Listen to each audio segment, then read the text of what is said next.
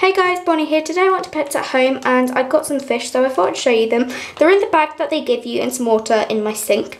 Um, so this one right here is W and that one right there is V.